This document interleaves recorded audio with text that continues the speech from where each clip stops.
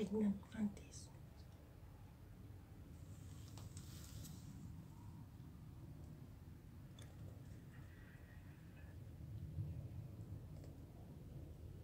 Yun.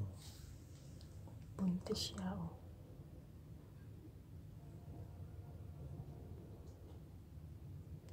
Hindi siya makakilos.